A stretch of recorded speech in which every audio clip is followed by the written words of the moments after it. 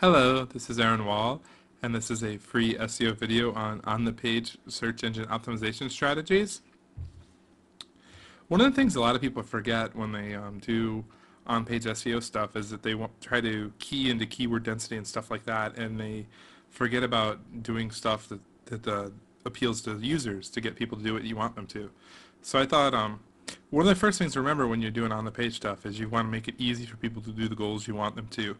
Uh, Stephen Krug made a, a book called Don't Make Me Think, which is kind of based on the principle that the easier you make it for people to do what you want them to and the less they have to think, the, the more people are going to do it.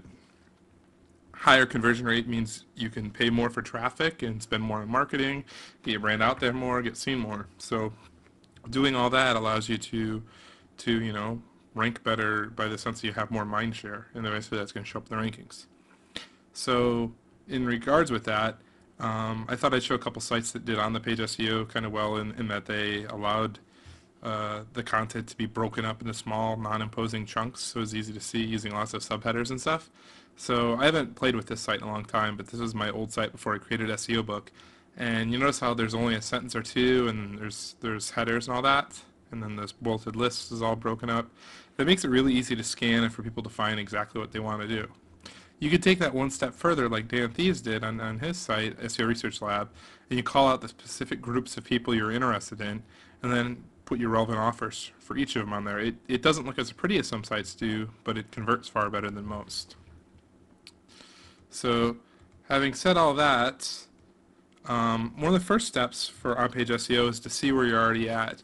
So you have to have some sort of analytics in place to know where you're at, to see what pages are important, what pages um, could use some work and, and, that sort of stuff. You don't want to just, you know, if you're not tracking, you, you really don't know what's going on.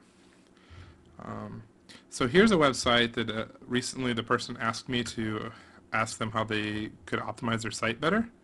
So if you go to their home page,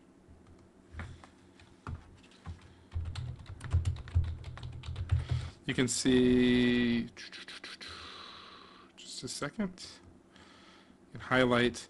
So right here, this page targets crop insurance. Notice every time it has crop insurance, they're right next to each other is two words, and it's in the page title as well, in the, in the header. Ideally, if the page was optimized, um, you'd mix things up a bit. You'd make sure the headings were were different than, say, the page title and that sort of stuff. The page title could be a lot more compelling. I, I have a video on page titles and meta description tags as well on YouTube. And also here, you want to have links in the content. How's it? It's it's not easy for me to do anything if you offer no call to action here. So you need to, to fix that as well. And then when they call out the different services here, you really want it to, to make sense who it's for, growers, agents, that makes sense. And each of the pages really needs to be targeted on a specific term or a specific set of keywords. Now, when you're doing the, the pages, it's important that the, the, the headings contain some of your keywords and the page titles do, and that you mix it up the order of it. Sometimes it's in, uh, crop insurance, sometimes it's insurance for farmers, sometimes it's farmer insurance, et cetera, et cetera, et cetera. The, the more you can kind of mix modifiers in there in a natural, good sounding way, the better it's going to be. So you can use keywords tools like, like, um, like keyword or like Wordtracker to, to look at some of the keywords. And then you can also look for related words, like here's farm insurance. You'd want to stay away from state farm stuff, but maybe farm bureau, and then some stuff on here like tractor insurance.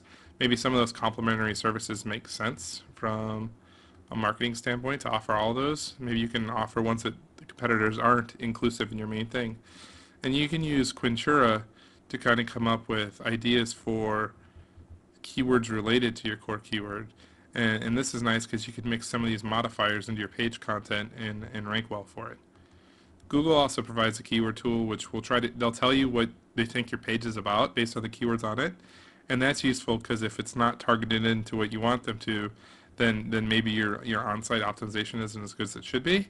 And they offer also offer keyword tools based on, um, you know, whatever keyword you enter. Um, beyond that, there's there's a lot of opportunities in, in, inside that uh, the crop insurance market and in just about any market. What you really want to do is you want to look at some of the you know legitimate authoritative sites in the market and look at what they, they use on their content because they're kind of defining the local language. And if you match up with what they're doing, then you're going to probably do pretty good. And so right here is like, I used SEO for Firefox. I have a video on that as well. And um, it puts all this data next to the results.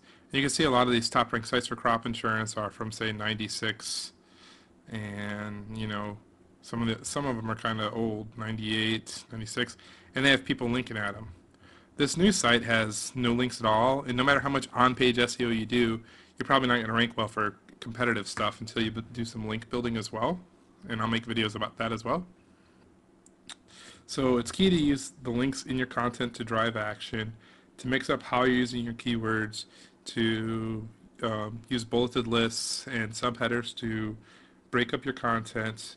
And also, if you have editorial por portions of your site, it's a good idea to link back to past coverage of the same topic such that you're using your internal linking to, to drive um, people to more relevant pages, but also to help search engines understand the relationships between the pages. Um, another big tip too is a lot of times people will create pages that are that are, are short and then paginate and that sort of stuff.